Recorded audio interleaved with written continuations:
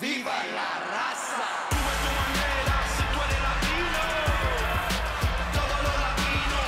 Well, this man has proven to be quite the impressive lucha competitor. But with a newfound killer instinct.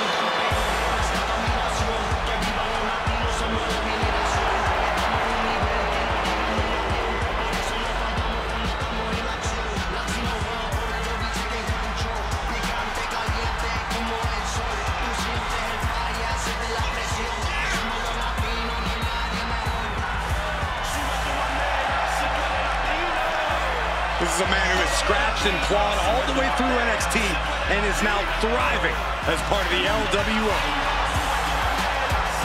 Well, this gentleman wanted to step foot on the island of relevancy. Well, here he is, and I promise it's going to take everything he has if he wants to make it off the island.